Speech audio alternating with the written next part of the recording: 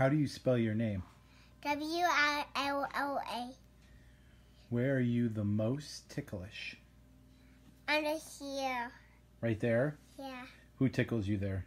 Daddy. Yeah. What is your favorite thing to smell? Bath bomb. What?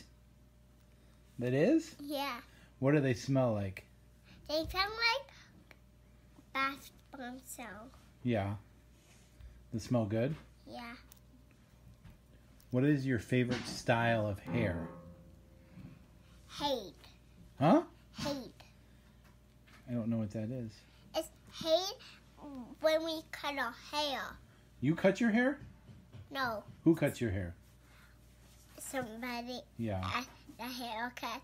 yeah. I love you. Love you too.